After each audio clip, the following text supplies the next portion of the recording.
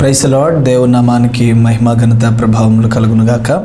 ఈ శ్రేష్టమైన మంచి సమయంలో దేవుని మాటలు వింటున్న మీ అందరికీ నా ప్రత్యేకమైన వందనాలు తెలియచేస్తున్నాను. మీకు మీ కుటుంబాలకి దేవుడు శుభం గాక కొద్ది నిమిషాలు శ్రద్ధగా దేవుని వాక్యం వినడానికి ప్రయత్నం చేయండి. పరిశుద్ధాత్మ దేవుడు మీతో మాట్లాడడానికి సంసిద్ధులై ఉన్నారు. రండి దేవుని వాక్యాన్ని ధ్యానం చేసుకుందాం. సామెతల గ్రంథము ముప్పైవ అధ్యాయము ఏడు ఎనిమిది వచనాలు నేను చదువుతున్నాను. అందరూ జాగ్రత్తగా వినండి. దేవా నేను నీతో రెండు మనవులు చేసుకొనిచున్నాను. నేను చనిపోకముందు వాటిని నాకు అనుగ్రహింపుము. వ్యర్థమైన వాటిని అబద్ధములను నాకు దూరంగా ఉంచుము. పేదరికమునైనను ఐశ్వర్యమునైనను నాకు దయచేయకము. తగినంత ఆహారము నాకు అనుగ్రహించుము. ఈ వాక్యం ద్వారా దేవా నాతో మాట్లాడండి. అని మీరందరూ ప్రార్థించండి ప్రార్థన చేసుకుందాం. ప్రేమ కలిగిన తండ్రి నీ శ్రేష్టమైన నామానికి వందనాలు. ఈ విలువైన అద్భుతమైన సమయంలో నీ పిల్లలు నీ మాటల మీద మనసు నుంచి నీ వాక్కులను సరిగా వినే బుద్ధిని పుట్టించి వినగలిగిన మనసును అనుగ్రహించి నీ ఆత్మకార్యాలు జరిగించి మీరే మీ నామానికి మహిమ తెచ్చుకోనమని యేసుక్రీస్తు నాము నడుచున్నాము తండ్రి. ఆమెన్. దేవుని పిల్లలారా కొద్ది నిమిషాలు మీరు చేస్తున్న పనులన్నీ పక్కన పెట్టి జాగ్రత్తగా దేవుని వాక్యాన్ని వినడానికి ప్రయత్నం చేయండి. ఈ సమయంలో దేవుడు ఒక అద్భుతమైన మాటను మనకు తెలియచేస్తున్నాడు. మన జీవితాన్ని దేవుని వాక్యం ద్వారా ఈ సమయమందు స్పర్శించబోతున్నారు. ఇక్కడ మనం చదివిన లేఖనంలో భక్తుడు అంటున్నాడు వ్యర్థమైన వాటిని అబద్ధాలను నాకు దూరంగా ఉంచు. మొదటిది. రెండోది పేదరికమునైనను ఐశ్వర్యమునైనను నాకు దయచేయొద్దు అని అడుగుతూ కిందేలా అంటున్నాడు. తగినంత నాకు అనుగ్రహించుము అని అంటున్నాడు. ఈ రోజున మనం నేర్చుకునే అద్భుతమైన అంశం ఏంటంటే దేవా నీవు నాకు తగినంత దయచేయము. ఈ శ్రేష్టమైన మంచి మాటల్లో నుండి అద్భుతమైన విషయాలను దేవుడు మనకు బోధించబోతున్నాడు. పరలోక ప్రార్థన నేర్పించమని యేసుప్రభు దగ్గరికి తన శిష్యులు వెళ్ళారు. అలా వెళ్ళినప్పుడు యేసుప్రభు వారు వారికి పరలోక ప్రార్థన నేర్పించారు. ఆ ప్రార్థనలో మా అనుదిన ఆహారము నేడు మాకు దయచేయము అని ప్రార్థించండి అని యేసుప్రభు వారు చెప్పారు. ప్రియులరా ఏ నాటికీడు ఆ నాటికి చాలు అని వాక్యం చెప్తుంది. రేపటి గురించి ఆలోచించందు. ఆకాశ పక్షులను చూడండి. అవి విత్తవు కోయవు కొట్లలో కూర్చుకొని. వాటిని పోషిస్తున్నాడు దేవుడు. మిమ్మల్ని కూడా పోషిస్తాడు అని వాక్యం చెప్తుంది. కాబట్టి రేపటి గురించి మనం చింతించవసరం లేదు. ఏ నాటికీడు ఆ నాటికి చాలు. దేవుడు మనకి ఎప్పటిదప్పుడే తగినంత సమృద్ధిగా ఇవ్వగలడు. కాబట్టి దేని గురించి మనం చింతించవలసిన వారం కాము. సింహ పిల్లలైనా లేమి కలిగి ఉంటాయి కానీ ఆయన ఎందు విశ్వాసం ఉంచేవారు. ఆయన ఆశ్రయించే వారికి ఏ కొదువ లేకుండా ఏ తక్కువ లేకుండా దేవుడు సకలము సమృద్ధిగా ఇస్తాడు. మన మోకాళ్ళ మీద దేవుని దగ్గరికి వెళ్ళి ప్రార్థించేటప్పుడల్లా ప్రభువుని అడగవలసిన ఒక శ్రేష్టమైన మంచి మాట ఏంటంటే దేవా తగినంత నాకు దయచేయము. దేవుడు మనకి తగినంత అనుగ్రహించేవాడు. ఇజ్రాయేల్ ప్రజలు వారు ఐగుప్తు దేశంలో నాలుగు వందల ముప్పై సంవత్సరాలు బానిసత్వంలో ఉన్నారు. మగ్గిపోయారు బానిసత్వంలో నలిగిపోయారు కృంగిపోయారు వేసారిపోయారు. ఆ బానిసత్వంలో మూలిగారు. దేవుని దగ్గర కన్నీళ్ళు విడిచారు మొర్రపెట్టారు మాకు విడుదల ఇవ్వి అని అడిగారు. దేవుడు విడుదల ఇచ్చాడు వారిని ఐగుప్తు దేశం నుండి కానాను దేశానికి తీసుకువెళ్ళబోతున్నాడు. అలా తీసుకువెళ్ళబోయే ప్రయాణంలో జరిగిన సంఘటన ఒకటి మీకు జ్ఞాపకం చేయాలని ఆశపడుతున్నారు వారు వెళుతున్న ప్రయాణంలో ఎర్ర సముద్రం ఎదురైంది. ఎర్ర సముద్రాన్ని దేవుడు ఒక రహదారిగా మార్చాడు. ఆరి నెలగా చేశాడు. ఒక మంచి మార్గాన్ని వేసి వారిని క్షేమముగా అద్దరికి చేర్చాడు. అలాగున వారు వెళ్ళిన తర్వాత వారికి ఎటువైపు చూసినా ఎడారి ప్రాంతమే కనబడుతుంది. తూర్పుకు చూసినా పడమట చూసినా ఉత్తరం చూసినా దక్షిణం చూసినా. అసలు ఏ విధమైన పరిస్థితులు కనబడుతున్నాయంటే అంతా శూన్యం అనమాట ఒక చెట్టు లేదు ఒక చేమ లేదు. ఎక్కడ చూసినా ఇసుక తిన్నలు. ఇసుక అంతా ఎడారి ప్రాంతం. అటువంటి ప్రాంతంలో వారు ఉన్నారు. అటువంటి సమయాల్లో వారికి ఏమనిపిస్తుందంటే ఇక్కడ తాగడానికి నీళ్ళుండవు తినడానికి ఆహారం ఉండదు మన పరిస్థితి ఏంటి అని అనుకుంటున్నారు. అటువంటి సమయాల్లో ప్రియులారా దేవుడు వారికి ఆహారం పెట్టడానికి ఆకాశమును తెరిచాడు. ఆకాశమును తెరిచి ఆకాశములో నుండి ప్రియులారా మంచు కురుస్తూ ఉంది. అలా మంచు కురుస్తూ ఉంది. ఉదయానికి చూసేటప్పటికి పాళెమంతా అనగా ఆ ప్రాంతం అంతా వారు ఉంటున్న ప్రదేశం అంతా మంచు చేత కప్పబడింది. మనం రిఫ్రిజిరేటర్ చూస్తే ఫ్రిడ్జ్లో చూస్తే డీఫ్ ఉంటుంది. దాంట్లో మనం పెట్టుకునే పదార్థం గెడ్డక టేస్ట్ ఉంటుంది. దా అది మనం తీసుకుని ఒకవేళ వండుకోవాలి అని అను ఆలోచన కలుగుంటే దాన్ని తీసుకుని పక్కన పెడితే ఐస్ కొంతసేపటికి కరిగిపోతుంది నీళ్ళు అయిపోతుంది అప్పుడు మనం ఆ పదార్థాన్ని తీసుకుని చక్కగా మనం బాయిల్ చేసుకోవచ్చు. అయితే ప్రియులరా ఈ మంచులాగా పడుతున్న ఆహారాన్ని చూశారు వాళ్ళు. చూస్తున్నప్పుడు దేవుడు అన్నాడు ఇదిగోండి ఏ కుటుంబానికి ఎంత కావాలో అంతా సమకూర్చుకోండి అని అన్నాడు. వీళ్ళు సమకూర్చుకుంటూ ఉన్నారు. అలా సమకూర్చుకుని ఆహారాన్ని తెచ్చుకుని పాత్రలో పెట్టుకున్నారు. ప్రిలరా పాత్రలో పెట్టుకుంటే పాత్రలో పెట్టుకున్న ఆహారం ఏమవుతుంది అని ఆలోచన చేసినట్లయితే వారికి సమృద్ధిగా సరిపోతుంది. ఎలా అంటే మంచుతో ఉన్న ఆహారాన్ని తీసుకుని పాత్రలో వేసుకుంటున్నారు. పాత్రలో వేయబడిన ఆహారం మంచు కరిగిపోతుంది. అలా కరిగిపోయిన తర్వాత స్వచ్ఛంగా ఉంటుంది. దేవుడు చూడండి మనం ఆలోచన చేసినట్లయితే దేవుని ఆలోచన మన పట్ల ఎంత ఘనంగా ఉందో.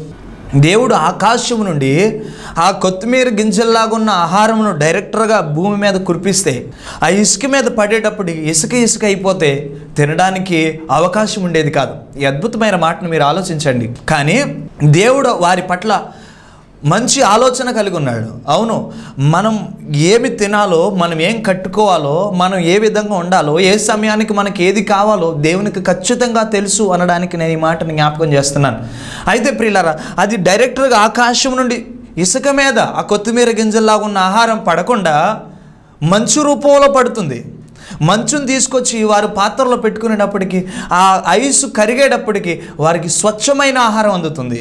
దానితో సమృద్ధిగా తింటూ ఉన్నారు. అయితే కొందరు కరువు కలిగిన వాళ్ళు ఉన్నారు. ఆ కరువు కలిగిన వాళ్ళు ఏం చేశారంటే ఈరోజు మనం తింటున్నాం సరే ఉదయం లేచేటప్పటికి ఆ మంచు కరిగేటప్పటికి చాలా సమయం అయిపోతుంది ఓ పని చేద్దాం అని చెప్పి దేవుడు కూర్చుకోమన్న దానికన్నా ఎక్కువ కూర్చుకున్నారు. అలా ఎక్కువ కూర్చుకునేటప్పటికి జరిగిన పరిస్థితి ఏంటంటే ప్రియులారా ఎక్కువ కూర్చుకున్నది. అంటే వారికి సరిపాటుగా కూర్చుకుంటే వారికి సమృద్ధిగా చక్కగా ఆరోగ్యకరమైన స్వచ్ఛమైన ఆహారం అందేది. అయితే వారు ఎక్కువ కూర్చుకున్నారనుకోండి అది ఉదయానికి కొంపు కొట్టేది పురుగులు పట్టేది. దేవుడు వారికి ఏ దినాహారము ఆ దినము తగినంత దయచేసేవాడు. ఈరోజు నీవు కూడా దేవుని సన్నిధిలో అడిగితే దేవుడు నీకు తగినంత ఇస్తాడు. ప్రభుని అడగాలి ప్రభువా నాకు తగినంత దయచేయి. ఎక్కువైన ప్రమాదమే తక్కువైన ప్రమాదమే. అంటున్నాడు ఎక్కువైతే ప్రభువా ఒకవేళ గర్విస్తానేమో. దేవుడు ఎవడు అని అంటానేమో. తక్కువైతే పేదవాడిని దొంగిలించి నీ నామాన్ని అవమానపరిచి దూషించిన వాడిగా ఉంటానేమో. నాకు ఎక్కువ వద్దు తక్కువ వద్దు సరి సమానంగా నాకు అనుగ్రహించు ప్రభు అని ప్రార్థన చేశాడు. ఈ రోజున ఈ భక్తుడు చేసిన ప్రార్థన నువ్వు చేయగలిగితే నీ జీవితంలో ఎంతో బాగుంటుంది. తక్కువైనా దేవుని నామాన్ని అవమానపరుస్తావేమో. ఎక్కువైనా దేవుని పట్ల గర్వంతో కూడిన మనసు కలిగి ఉంటావేమో. కాబట్టి దేవుని సందులో నువ్వు అడిగే ఒక మంచి మాట ఏంటంటే ప్రభా తగినంత నాకు దయచేయి. అవును మన దేవుడు మనకి తగినంత ఇచ్చేవాడు. నీవు అడిగితే అది ఎక్కువైందంటే మన జీవితంలో చాలా ప్రమాదం ప్రియులారం. ఒక వ్యక్తిని మీకు జ్ఞాపకం చేస్తాను. రాజుల మొదటి గ్రంథము మూడవ అధ్యాయము తొమ్మిదవ చునులో ఈ మాటలు స్పష్టంగా ఉంటాయి. ఒక వ్యక్తి దేవుని దగ్గరికి వెళ్ళాడు. అది గిబియోను అనే ప్రాంతం. గిబియోను అనగా కొండ సంబంధమైన స్థలం అని అర్థం. కొండ సంబంధమైన ఆ స్థలములోనికి రాజుగా అభిషేకించబడిన తర్వాత ఏకాంతంగా దేవుని దగ్గరికి వెళ్ళాడు. అలా వెళ్ళి దేవునికి చాలా బలులను అర్పించాడు.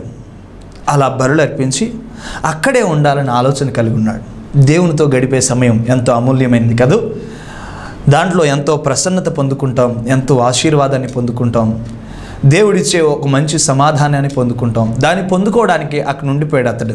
ఆ రాత్రి మహిమ కలిగిన దేవుడు అతనికి ప్రత్యక్షమై నా కుమారుడా నీకేం కావాలి? అని అడిగాడు. అడిగినప్పుడు అతడు ఏమన్నాడంటే ప్రభా దాను మొదలుకుని బేర్షెబ వరకు నీ ప్రజలు విస్తరించి ఉన్నారు. వారిని పరిపాలించడానికి నాకు వివేచన అనగా జ్ఞానం కావాలి అని అని అడిగాడు. ప్రియులరా అలా అడిగినప్పుడు దేవుడు అన్నాడు నా కుమారుడా నీవు శత్రువుల ప్రాణాన్నో ఐశ్వర్యాన్నో లేకపోతే ఏదేదో అడుగుతావు అనుకున్నాను కానీ నీవు జ్ఞానం అడిగు నా ప్రజల్ని పరిపాలించడానికి జ్ఞానంతో పాటుగా నీకు అన్నీ ఇస్తున్నాను అన్నాడు. ఇచ్చేదానికన్నా దేవుడు ఎక్కువగానే ఇచ్చాడు. ఎక్కువగానే కట్టబెట్టాడు. తీసుకున్నాడు. తీసుకుని వెళ్ళి ప్రిలరా అతనికి దేవుడు ఎంత జ్ఞానాన్ని ఇచ్చాడంటే అది చెప్పసక్యము కానంత. పాఠ్యపుస్తకాల్లో చదువుకునే వాళ్ళు ఉంటే ఈ మాట చదువుకునే ఉంటారు ఈ మాట జ్ఞాపకం చేస్తారు. ఏంటంటే ఒకసారి ఒక రాణి ఆ రాజును చూడడానికి అతనితో మాట్లాడడానికి కొంత సమయం అతనితో గడపడానికి వేరే దేశం నుండి రాజు దగ్గరికి వచ్చింది. అతనితో మాట్లాడుతూ ఉంది. అలా మాట్లాడిన తర్వాత ఇలా అంది మీకు ఒక ప్రశ్న వేయబోతున్నాను ఒక సాదృశ్యాన్ని మీ ముందర పెట్టబోతున్నాను. దాన్ని మీరు నాకు సరిగా చెప్పాలి. మీరు చాలా జ్ఞానవంతులని అందరూ చెప్తున్నారు. నేను కూడా విన్నాను మీ జ్ఞానం మాటలు. అని ఆమె అంది. సరే అన్నారు రాజుగారు అన్న మాటను బట్టి. ఆమె రెండు పువ్వులను తీసుకుంది. తీసుకుని రాజుకి ఆమెడ దూరాన్ని పెట్టింది. పెట్టి రెండు పువ్వులు చూస్తూ ఉంటే ఒకలాగానే ఉన్నాయి. ఒరిజినల్ పువ్వేది ఆర్టిఫిషియల్ పువ్వేది అని రాజుని అడిగింది. అసలు దాంట్లో ఏ మార్పు లేదు. ఏ విధంగానూ చెప్పడానికి అవకాశం లేదు. రెండు ఒకలాగానే ఉన్నాయి. ప్లాస్టిక్ పువ్వు ఒకలాగా ఉంది. చెట్టుకి కాసిన ఒరిజినల్ పువ్వు కూడా ఒకలాగానే ఉంది. రాజుకి ఏం చెప్పాలో అర్థం కాలేదు. అటు ఇటు ఆలోచిస్తున్నాడు. వెంటనే దేవుని తలుచుకున్నాడు. ప్రార్థిస్తున్నాడు. దేవుడు అంటున్నాడు నా కుమారుడా ఒకసారి కిటికీ తలుపును తెరువు దాంట్లో నుండి ఏగ వస్తుంది.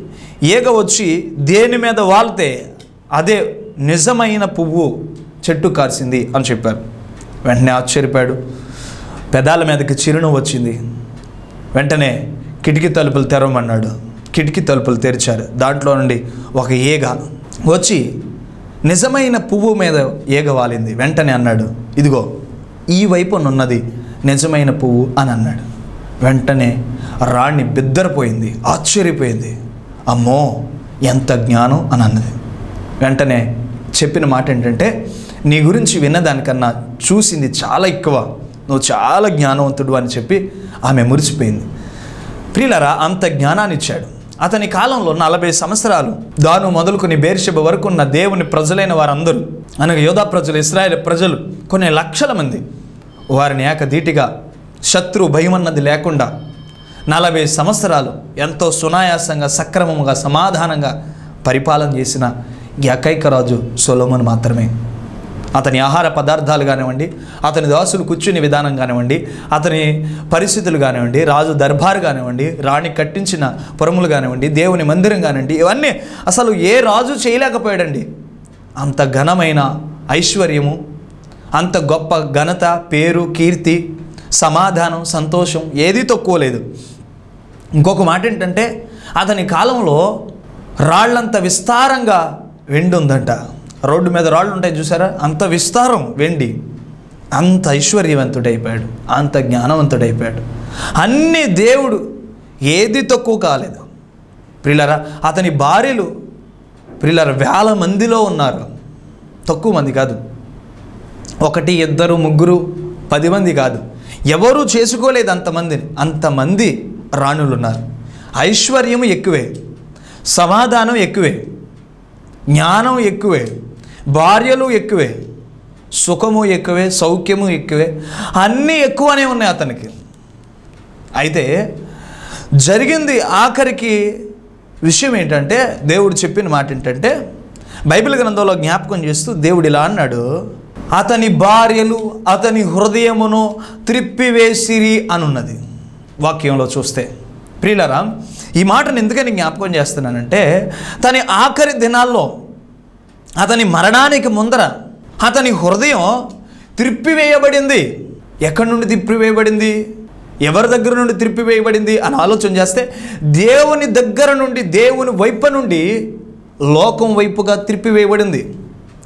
అతనుకున్న ఎక్కువైన జ్ఞానం హృదయములో గర్వించిన వాడే మనసునందు చెడిపోయిన వాడే దేవుని వైపు నుండి లోకం వైపుగా తిరిగిపోయాడు. అతనికున్న ఎక్కువైన జ్ఞానం అతన్ని చెరిపింది. అతనికి ఎక్కువైన ఐశ్వర్యం అతన్ని చెరిపింది. అతనికి ఎక్కువైన సమాధానం అతన్ని చెరిపింది. అతనికి ఎక్కువ మంది అయిన భార్యలు అతన్ని చెరిపారు.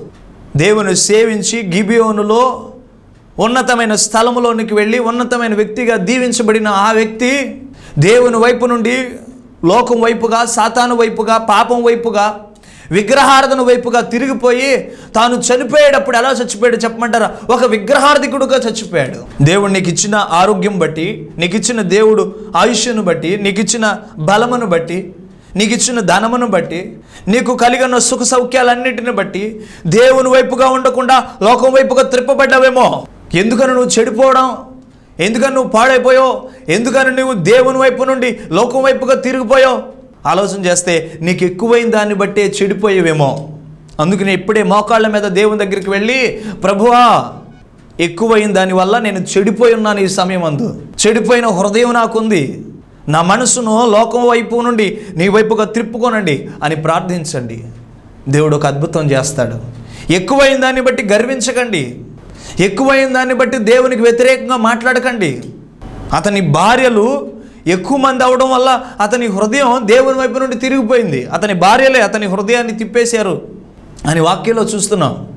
ఈ రోజున నీవు కూడా అనేక మంది భార్యలు కలిగి ఉండి దేవుని వైపు నుండి లోకం వైపుగా తిరిపివేయబడ్డావేమో. అనంటే నువ్వు కట్టుకున్న భార్య గురించి నేను చెప్పట్లా. కొంతమందికి భార్యలే భార్యలు ఎవరంటే డబ్బే వారి భార్యలు. ఆ డబ్బే దేవుని వైపు ఉండకుండా లోకం వైపుకు తిప్పేస్తుంది. ఒక రాత్రి పగళ్ళు నిద్రపోరు. బీరువాలో పెట్టిన దానికి తాళం తీసి మరలా చూసుకుని మరలా తాళం వేసి మరలా తాళం తీసి మరలా చూసుకుని మరలా తాళం వేసి నిద్రపోరేక రాత్రి మగళ్ళు. ఒక ఆయన ఇలా పడుకునేవాడు డబ్బు మీద. డబ్బే వారి భార్యలు. అయితే ఈ డబ్బే దేవుని వైపు ఉండకుండా లోపం వైపు తిప్పేస్తుందేమో నిన్ను. దేవుని వైపుకు నీవు చూడకుండా లోకం వైపు చూసేలాగా చేస్తుందేమో. ఏది నీ జీవితాన్ని ఈ రోజున పాటు చేస్తుంది దేవునిలో బలపడకుండా. ఏది నీ జీవితాన్ని ఈ రోజున దేవుని కృపలో వర్దెల్లకుండా దేవుని వైపు చూడకుండా దేవుని వైపుకి వెళ్ళకుండా లోకం వైపుగా వెళ్ళిపోయేలా చేస్తుందో? ఒకసారి నువ్వు ఆలోచించుకో. ఆలోచించుకుని నీ జీవితాన్ని దేవుని వైపుగా తిప్పుకో. దేవుని వైపుగా నీ జీవితాన్ని మరల్చుకో. అప్పుడు ఆ దేవాది దేవుడు ఆ మహిమ కలిగిన ప్రభువు నీ జీవితంలో ఆశ్చర్యకార్యాన్ని చేస్తారు. అద్భుతాన్ని చేస్తారు.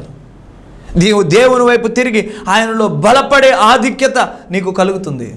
అందుకనే దేవుని సన్నిధిలో అడగాలి నీవు మోకరించి ప్రభువా నాకు తగినంత దయచేయి. ఊరికనే నేర్పించలే పరలోక ప్రార్థన దేవుడు.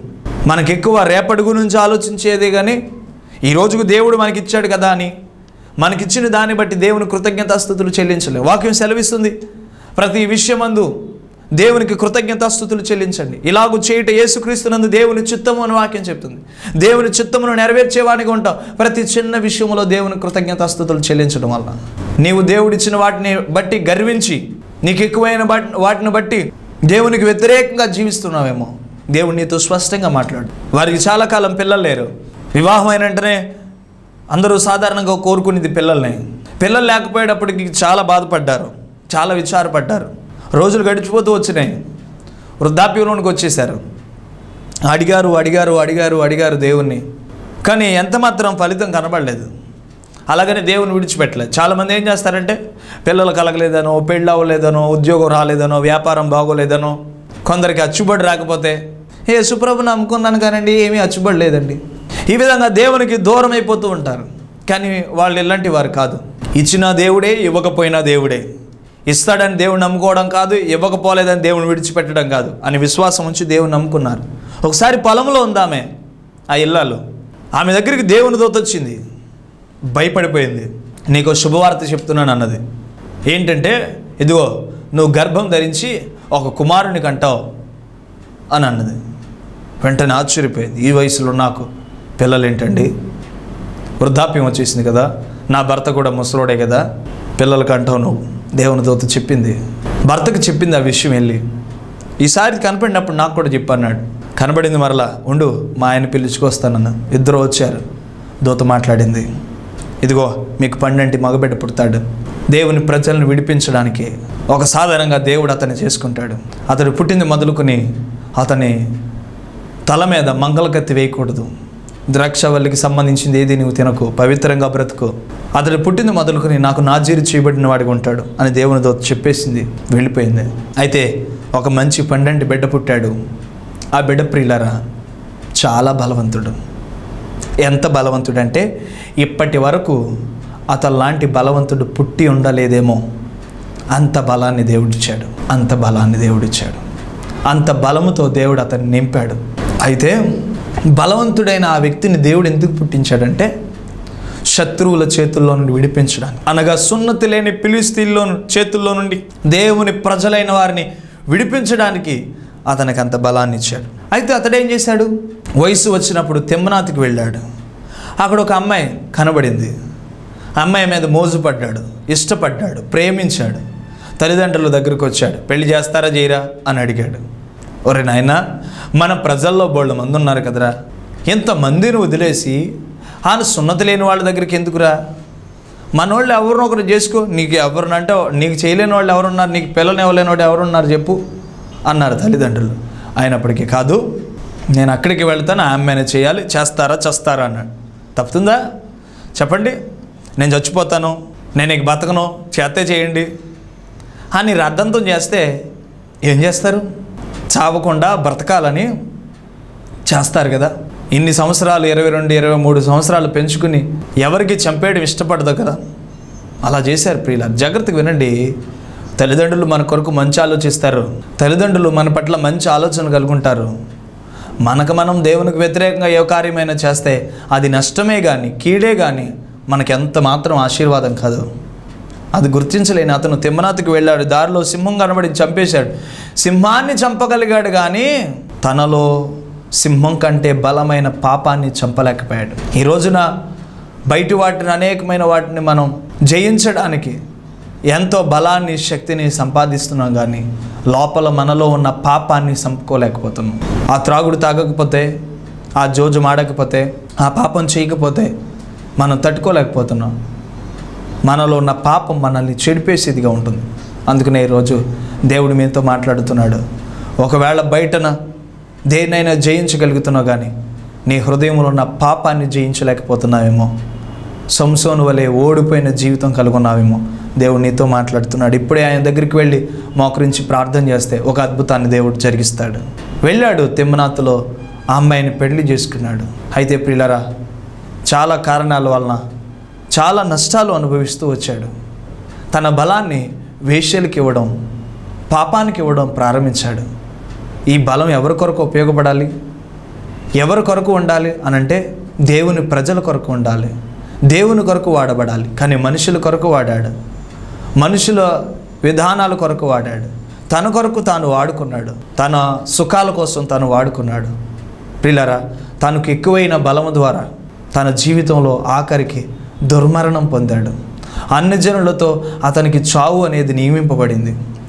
భయంకరమైన చావు చనిపోయాడు అతడు. అన్యజనులతో అన్యుల విగ్రహారాధన గుడిలో అతడు కన్నుమూశాడు. అతనికి ఎక్కువైన బలం అతని శరీరాశల్లో పడవేసి లోకం వైపుగా అతన్ని మరల్చి లోకం వైపుగా అతన్ని తిప్పేసి అతని జీవితం పాడైపోయిన విధానాల్లోనికి వెళ్ళిపోయింది. ఈ సమయమందు దేవుడు నీతో మాట్లాడుతున్నాడు. నీకున్న బలమును బట్టి గర్విస్తున్నావా? నీకున్న జ్ఞానమును బట్టి గర్విస్తున్నావా? నీకున్న వాటిని బట్టి అతిశయిస్తున్నావా? కాదు దేవుని ఎదుట దేవుడు నీకు ఇచ్చిన వాటిని బట్టి దేవుని స్థుతించు దేవుడి ఇచ్చిన వాటిని బట్టి గనపరచు నాకు ఏది ఎక్కువ వద్దు ప్రభ. నాకేది తక్కువ వద్దు ప్రభ. సరి సమానంగా నీ కృప ద్వారా నాకు అన్నీ అనుగ్రహించు తండ్రి. నా పట్ల నీ మహిమ కలిగిన కార్యాలు జరిగించు. తగినంత నాకు దయచేయి. ఏ కొదువ లేకుండా ఏ సమస్య లేకుండా నీ కృపలో నేను వర్ధిల్లినట్లు సరిపోయినంత నాకు అనుగ్రహించు తండ్రి అని దేవుని సన్నిధిలో నీవు అడిగితే తగినంత ఇవ్వగలిగిన సమర్థుడు నీ జీవితంలో తగినంత ఇచ్చి ఒక శ్రేష్టమైన మంచి మార్గంలో సన్మార్గంలో నేను నడిపించి తన వారసునిగా చేసుకుని తన రాజ్యంలో నేను చేర్చుకోవడానికి సిద్ధంగా ఉన్నాడు. ఈ సమయంలో నీ కొరకు నేను ప్రార్థన చేయబోతున్నాను. ప్రభా నాకు తగినంత దయచేయి ఏది నాకు ఎక్కువద్దు ఎక్కువ ఏది నాకు తక్కువ వద్దు తక్కువ వచ్చినా నేను దూషిస్తానేమో. నీ నామానికి అవమానకరంగా బ్రతుకుతానేమో. ఎక్కువ వచ్చినా నీ నామాన్ని అవమానపరిచి నీకు వ్యతిరేకంగా జీవించి నా జీవితాన్ని పాడు చేసుకుంటానేమో. కాదు ప్రభా ఎక్కువ వద్దు తక్కువ వద్దు. తగినంత నాకు దయచేయని అడుగుదాం. ప్రార్థన కృపాసతి సంపూర్ణుడ దయగలిగిన పరిశుద్ధుడ నీ మహిమ కలిగిన అతి శ్రేష్టమైన నామానికి వందనాలు కృతజ్ఞతలు. నీ మాటలు విన్న బిడ్డలందరినీ మీరు దీవించండి ఆశీర్వదించండి. ఏసయ్య ఎందరైతే ఎక్కువ అయితే నీ నామానికి వ్యతిరేకంగా బ్రతుకుతానేమో. తక్కువైతే నీ నామాన్ని దూషించేవానిగా అన్ని జనంలో సిగ్గుకరంగా ఉంటానేమో. నాకు ఎక్కువ వద్దు తక్కువ వద్దు తగినంత దయచేయని భక్తుడు అడిగాడు. ఆ మాట ద్వారా మాతో మాట్లాడారు.